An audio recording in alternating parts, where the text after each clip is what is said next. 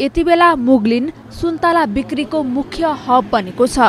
राजधानी जोड्ने मुख्य राजमार्ग भएका कारण पनि मुगलिन बजारमा सुन्तला किन्नेहरूको भिड लाग्ने गरेको हो।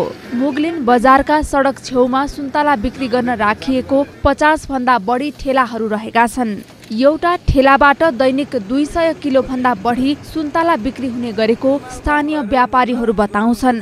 मुगलिनमा बिक्रीका लागि राखिएका सुन्तलाहरू चितवन धादिङ गोर्खा र स्याङ्जाको विभिन्न ठाउँमा उत्पादन भएका सुन्तलाहरू हुने गरेको फलफुल व्यवसायीको भनाइ छ। हाम्रो इसेकाउनकै माग बढी हुन्छ त्यहाँकै मिठो हुन्छ पनि। हजुर। अब हामीले त बेच्दाखेरि त्यही भन्छ अब ग्राहकहरूलाई पनि अब ग्राहकहरूलाई त जागो पनि सुन्तला गोर्खाको यतिको भनेर बेचिन्छ।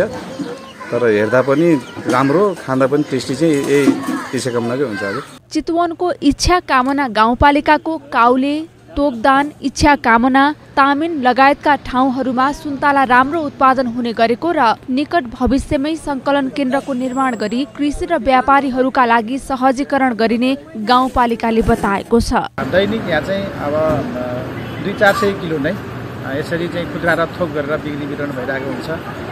त्यसले गर्दा यो सुन्तला चाहिँ यो सिजनमा राम्रो छ। सुन्तलाको लागि हाम्रो यो